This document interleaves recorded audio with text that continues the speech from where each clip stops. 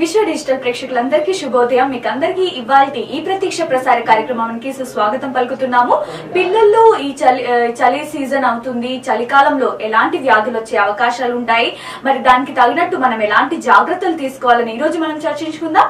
మనతో ఇవాళ ఈ చర్చా కార్యక్రమంలో పాల్గొంటున్న వారు డాక్టర్ ఎం పవన్ కుమార్ గారు pediatrician neo life children's hospital Nizamabad. ముందుగా డాక్టర్ ఎం పవన్ కుమార్ గారిని మన విశ్వ డిజిటల్ స్టూడియోకి వెల్కమ్ చేద్దాం. Welcome to the studio. Sir ఇప్పుడు చలికాలం వస్తుంది. చాలా పిల్లలు అంటే చిన్న పిల్లలకి చిన్న చిన్న వ్యాధులతో పెద్ద పెద్ద వ్యాధులు వచ్చే ఛాన్సెస్ ఉన్నాయి. మరి ఎక్కువ మట్టుకు ఈ చలికాలంలో పిల్లల్లో ఎలాంటి వ్యాధులు వస్తాయి? ముందుగా ఈ చలికాలంలో పిల్లలకి చాలా రకాలుగా ప్రాబ్లమ్స్ వచ్చే అవకాశం ఎక్కువగా ఉంటుంది. అంటే దీనికి రిలేటెడ్ డిజా డిసీజెస్ స్కిన్కి సంబంధించి ఉండొచ్చు లేకపోతే శ్వాసకు సంబంధించిన ప్రాబ్లమ్స్ రావచ్చు. మెయిన్గా స్కిన్కి రిలేటెడ్ అలర్జిక్ ప్రాబ్లమ్స్ రావచ్చు. దీన్నే ఇంగ్లీష్లో ఎటోపిక్ డర్మటైటిస్ ఆర్ ఎగ్జిమా అని అంటాము. ఇది- ఇది కాకుండా మనకు శ్వాసకు సంబంధించింది చాలా రకాలుగా ప్రాబ్లమ్స్ రావచ్చు. కొంతమందికి ముక్కు దగ్గర ప్రాబ్లమ్స్ అంటే అలర్జిక్ రైనైటిస్ అంటారు. ఇది కాకుండా అంటే టాన్సిలైటిస్ ప్రాబ్లమ్స్ రావచ్చు. కొంతమందికి అలర్జిక్ బ్రాంకైటిస్ లేదు అంటే ఆస్తమా ప్రాబ్లమ్స్ రావచ్చు నిమోనియా ప్రాబ్లమ్స్ రావచ్చు. ఇలా చాలా రకాల ప్రాబ్లమ్స్ ఫేస్ చేయొచ్చు మెయిన్గా ఈ వింటర్ సీజన్స్లో. సో మరి ఎక్కువ మట్టుకు ఎలాంటి హెల్త్ కండిషన్స్ ఉన్న పిల్లల్లో ఇవి వచ్చే అవకాశాలు ఉన్నాయి? మరి ఏ వయస్సులో ఉన్న పిల్లలకి ఇలాంటి వ్యాధులు సడన్ అంటే జల్దీ పట్టుకునేటటువంటి ఒక సిచ్యువేషన్ కనిపిస్తుంది? ఈ మెయిన్గా ఈ- ఈ ప్రాబ్లమ్స్ అంటే రిస్క్ ఫ్యాక్టర్స్ అనేది కొన్ని ఉంటాయి. మెయిన్గా మనకు ఫైవ్ ఇయర్స్ లోపు పిల్లలకి చాలా తొందరగా ఇట్లాంటి ప్రాబ్లమ్స్ వచ్చే అవకాశం ఉంటుంది. మెయిన్గా అంటే వీక్నెస్ అంటే ఇమ్యూనిటీ లెవెల్స్ తక్కువ ఉంటాయి కాబట్టి వాళ్ళకి డిసీజెస్ తొందరగా వచ్చే అవకాశం ఉండొచ్చు. ఈ స్కిన్ రిలేటెడ్ ప్రాబ్లమ్స్ మెయిన్గా first one two one two two years పిల్లల్లో చాలా ఎక్కువగా చూస్తూ ఉంటాం స్కిన్ రిలేటెడ్ డిసార్డర్స్ అది కాకుండా అంటే ఈ శ్వాసకు సంబంధించిన ప్రాబ్లమ్స్ కొన్ని risk factors already heart problems ఉండి పుట్టిన పిల్లల్లో ఎక్కువగా మనం చూస్తూ ఉంటాం. తరచుగా infections cough cold breathing problems రావడం ఇట్లాంటి ప్రాబ్లమ్స్ రావచ్చు. ఆల్రెడీ ఇమ్యూనో గా ఉన్న పిల్లలకి ఈ ప్రాబ్లమ్స్ రావచ్చు. ఇది కాకుండా ఆస్తమా నుంచి సఫర్ అవుతున్న పిల్లలకి ఎక్కువగా ప్రాబ్లమ్స్ రావచ్చు. అది సైనసైటిస్ ఆల్రెడీ ఉండి ఇట్లా అలర్జిక్ ప్రాబ్లమ్స్ ఉన్న వాళ్ళకి తరచుగా వచ్చే అవకాశం ఎక్కువగా ఉంటుంది. సార్ అలాగే మీరు ఇప్పుడు ఇంతకు ముందు చెప్పారు స్కిన్ డిసార్డర్స్ వచ్చే అవకాశాలు ఎక్కువ చర్మానికి సంబంధించిన వ్యాధులు వచ్చే అవకాశాలు ఎక్కువ ఉన్నాయి మరి ఎలాంటి చర్మ వ్యాధులు వచ్చే ఛాన్సెస్ ఉన్నాయి? దానికి ఎలాంటి జాగ్రత్తలు తీసుకోవాలని మీరు అంటారు ఈ చలికాలంలో మెయిన్గా ఈ పెదాలు పలగడము చర్మం మన కాలు చేతుల పైన పల్లి పలగడము అది కాకుండా స్కిన్ ఊడిపోయి రావడం ఇట్లాంటి ప్రాబ్లమ్స్ వస్తూ ఉంటాయి. దీన్నే ఇంగ్లీష్లో ఎటోపిక్ డెర్మటైటిస్ ఆర్ ఎగ్జిమా అంటాము. పిల్లల్లో వచ్చే ఈ ప్రాబ్లమ్ని మెయిన్గా one two two years related పిల్లల్లో ఎక్కువగా చూస్తూ ఉంటాం ఎటోపిక్ డెర్మటైటిస్ ఈ సిమ్టమ్స్ వచ్చేసి మనకు ఎట్లా ఈ కొంతమంది వన్ ఇయర్లో పిల్లలకి ఏమో ఈ చెంపల పైన ఎర్రగా రావడము లేకపోతే స్కిన్ అంతా డ్రై అయిపోవడము ఈ కాలు చేతుల పైన డ్రై అయిపోవడము స్కిన్ ఊడిపోయి రావడము. మెయిన్గా ఈ ఫ్లెక్షరల్ ఏరియాస్ అంటాం. ఈ ఏరియాస్ ఎక్స్టెన్సర్ ఏరియాస్లో ఎక్కువగా మాకు కనిపిస్తూ ఉంటుంది. దీంతో పాటు ఇచ్చింగ్ ప్రాబ్లం కూడా ఎక్కువగా ఉంటుంది వీళ్ళలో ఇది సిమ్టమ్స్ మనకు. మెయిన్గా మనం తీసుకునే ప్రికాషన్స్ ఎలా ఉండాలంటే మనం మాయిశ్చరైజర్స్ ఎక్కువగా యూజ్ చేస్తూ ఉండాలి. అది కాకుండా మనము వాడే సోప్స్ కూడా ఈ మనకు బయట మార్కెట్లో దొరికే సోప్స్ కూడా చాలా వరకు మనకు తెల్ తెలియకపోవచ్చు ఇది అంటే మంచి ఉంటుందా లేదా అనేది చెప్పలేము. ఐడియల్గా మనం వాడేది సిండెట్ యూజ్ చేయాలి బేబీస్లో సిండెట్ అది కూడా పిహెచ్ ఫైవ్ పాయింట్ ఫైవ్ ఉన్న సిండెట్స్ యూజ్ చేసుకుంటా ఉంటే ఇట్లాంటి ప్రాబ్లమ్స్ మనం అవాయిడ్ చేయొచ్చు. దాంతో పాటు రెగ్యులర్గా మాయిశ్చర్స్ మాయిశ్చరైజర్స్ క్రీమ్స్ కానీ లోషన్స్ పెట్టుకుంటూ ఉండడం వల్ల ఈ ప్రాబ్లమ్స్ తక్కువ చేసుకోవచ్చు మనం. సార్ అలాగే ఆస్తమా గురించి చెప్పినట్టయితే చిన్నపిల్లలు చాలా మందికి బ్రీతింగ్ ప్రాబ్లమ్స్ కూడా ఉన్న పిల్లలు ఉన్నాయి మరి వాళ్ళకి ఎలాంటి జాగ్రత్తలు తీసుకోవాలి? మరి ఏ టైంలో డాక్టర్స్ని కలవాలంటే కన్సల్ట్ చేయాల్సిన అవసరం ఉంటుంది? ఆస్తమా అనేది మనం చాలా ఫ్రీక్వెంట్గా చూస్తూ ఉంటాము. ఆస్తమ అనేది ఇట్స్ ఎ కామన్ డిజార్డర్ కానీ కంట్రోల్లో ఉంచుకుంటే ఓకే కానీ కంట్రోల్లో పెట్టుకోకపోతే మాత్రం చాలా సీరియస్ స్టేజ్లో వెళ్ళే అవకాశం ఉంటుంది. ఆస్తమాకు వచ్చేసి మనకు సిమ్టమ్స్ ఎలా ఉంటాయంటే మామూలుగా కాఫ్తోనే స్టార్ట్ అవుతుంది. మెయిన్గా ఈ కాఫ్ నైట్ టైమ్స్లో ఎక్కువగా ఉంటుంది. డ్రై కాఫ్ ఉంటుంది. కొంతమందికి ఈ నైట్ స్లీప్ డిస్టర్బెన్సెస్తో ప్రజెంట్ అవుతారు. అది కాకుండా బ్రీతింగ్ ప్రాబ్లమ్స్ చెస్ట్లో అంత అనీజీనెస్ ఉండడం ఆయాసం రావడం ఇట్లాంటి ప్రాబ్లమ్స్ కొంతమందికి పిల్లి కూతల్లాగా సౌండ్స్ వస్తూ ఉంటాయి. ఇలాంటి ప్రాబ్లమ్స్ ఫేస్ మనకు సిమ్టమ్స్ మనం ప్రజెంట్ అవుతూ ఉంటారు. అయితే మనకు దీనికి సంబంధించింది చాలా రీజన్స్ అంటే రిస్క్ ఫ్యాక్టర్స్ చాలా ఉంటాయి. ఎట్లా వచ్చింది అనేది కొంతమందికి ఫ్యామిలీస్లో అంటే వాళ్ళ పేరెంట్స్ కానీ గ్రాండ్ పేరెంట్స్ కానీ అట్లా ఫ్యామిలీస్లో రన్ అవ్వడం వల్ల ఇట్లా వచ్చే అవకాశం ఉంటుంది పిల్లల్లో. అది కాకుండా ఇండోర్ పొల్యూషన్ లేదు అవుట్డోర్ పొల్యూషన్ వల్ల కూడా ఈ ప్రాబ్లమ్స్ రావచ్చు. మెయిన్గా ఇండోర్ పొల్యూషన్ మనం చూసుకున్నట్టయితే కొంతమందికి ఈ పెర్ఫ్యూమ్స్ కానీ లేదు అంటే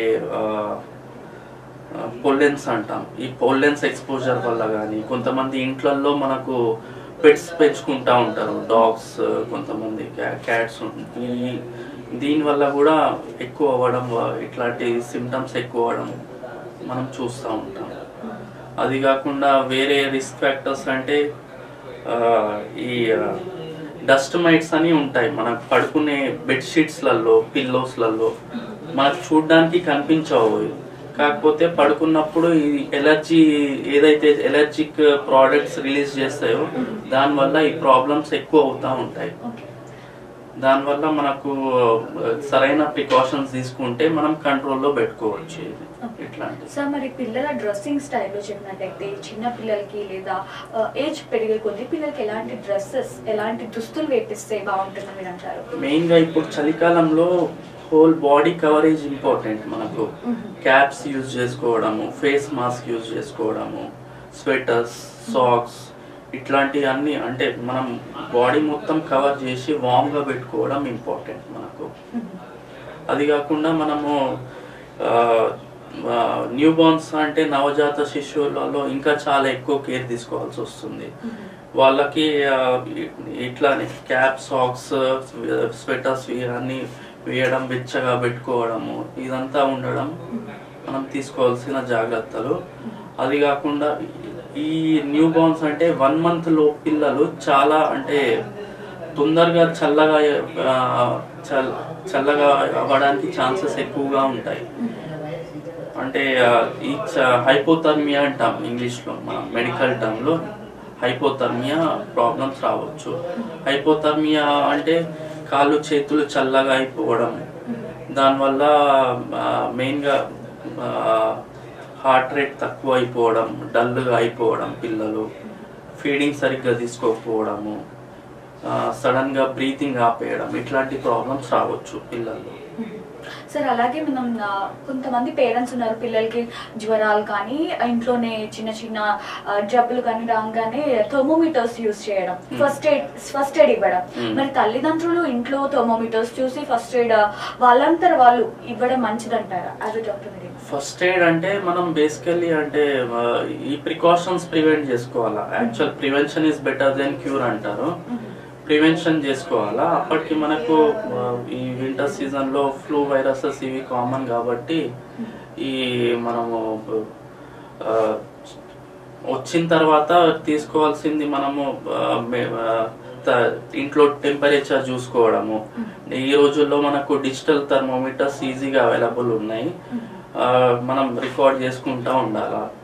మనకు టెంపరేచర్ సపోజ్ కంట్రోల్లో లేదు అంటే డాక్టర్ కన్సల్ట్ చేయడం ఇట్లాంటివి చేస్తూ ఉండాలి సార్ అలాగే ఇప్పుడు ఇంతకు ముందు మీరు చెప్పినట్టు పిల్లలు చాలా పెక్స్తో కుక్కలు కానీ పిల్లి కానీ ఇలాంటి చిన్న చిన్న మృగాలను మనం ఇంట్లో పెంచుతూ ఉంటాము. మరి అలాంటి మృగాలు ఉన్న వాళ్ళు పిల్లల్ని ఆ మృగాల నుంచి ఎలా కాపాడుకోవాలి? మీరు కూడా చెప్పినట్టు బ్రీతింగ్ ప్రాబ్లమ్స్ లాంటివి వచ్చి ఉన్నాయి. మరి తల్లిదండ్రులు తీసుకోవాల్సినటువంటి జాగ్రత్తలు ఏంటి?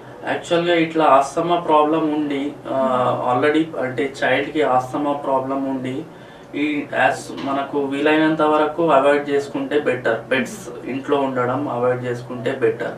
అయినా అంటే తప్పదు అనుకునే సమయంలో అప్రోప్రియేట్ వ్యాక్సినేషన్స్ ఇప్పించుకోవాలి ఈ పెట్స్కి ఆ, పిల్లలు మన చిల్డ్రన్స్లో కూడా సరైన వ్యాక్సినేషన్స్ ఇప్పించుకోవాలి. యాక్చువల్గా బెటర్ అంటే ఇంట్లో ఉండకపోయిందే బెటర్ ఇంకా ఇట్లాంటి పిల్లల్లో.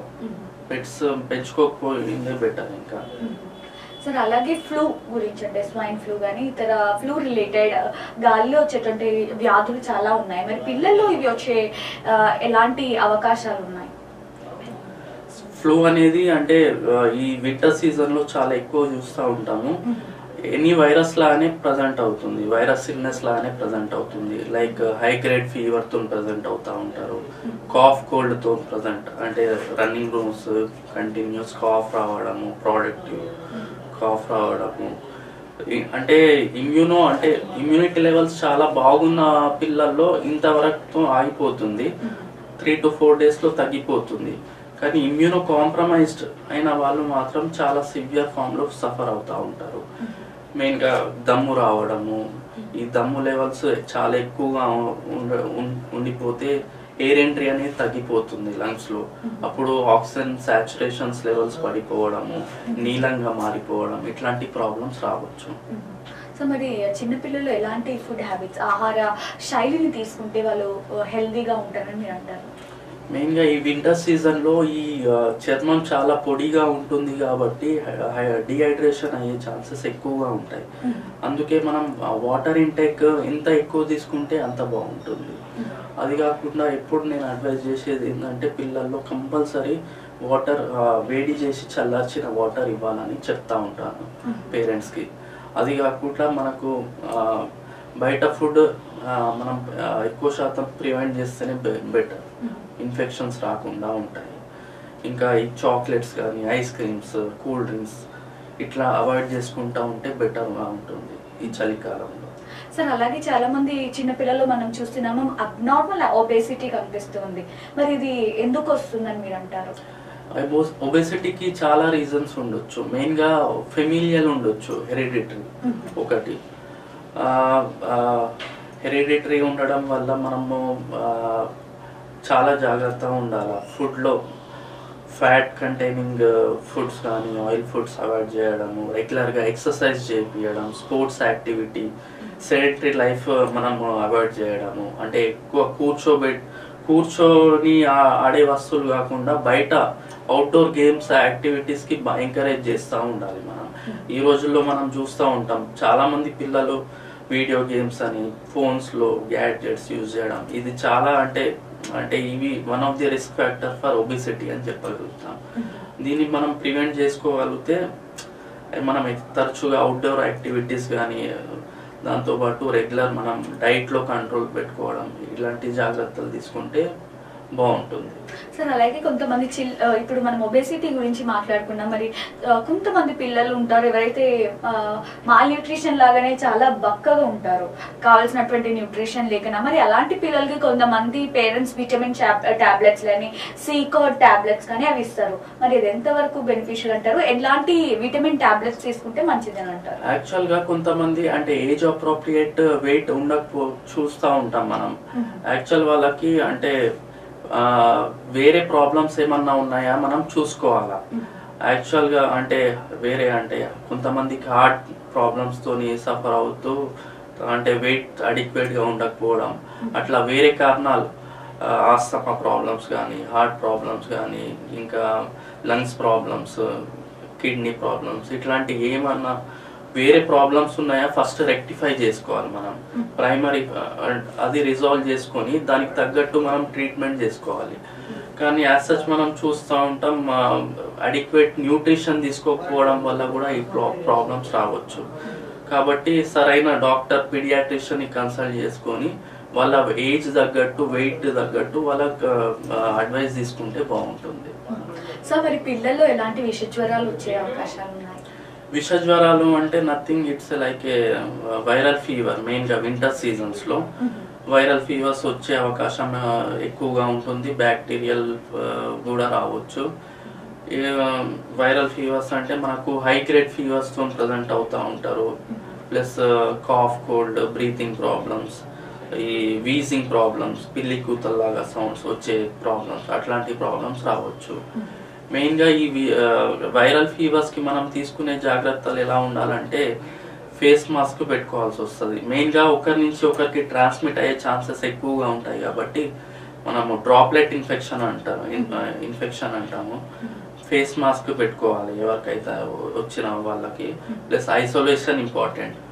ఇద్దరు ముగ్గురు పిల్లల్లో ఉంటే ఎవరికైతే ఎఫెక్ట్ అవుతారో వాళ్ళు సెపరేట్గా ఉంటారు యాజ్ మనం ఉంచుకుంటే బాగుంటుంది. అది కాకుండా మనము దగ్గిన తుమ్మిన కొంచెం అంటే హ్యాండ్ ఇట్లా హ్యాండ్ పైన ఈ డ్రాప్లెట్స్ ఏమన్నా పడినప్పుడు షేక్ హ్యాండ్ ఇవ్వడం వల్ల లేకపోతే ఇట్లా ఒకరి నుంచి ఒకరికి మనకు ట్రాన్స్మిట్ అయ్యే ఛాన్సెస్ ఎక్కువగా ఉంటుంది మనకు. కొంచెం ఇలాంటి కేర్ మనం ప్రికాషన్స్ తీసుకుంటే అవాయిడ్ చేసుకోగలుగుతాము.